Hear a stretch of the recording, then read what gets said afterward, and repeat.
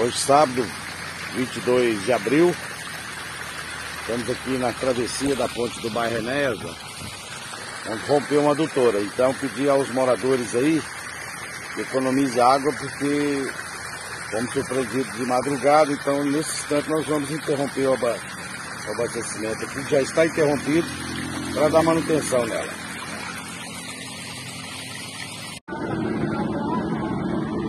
Acabou a água, Luiz.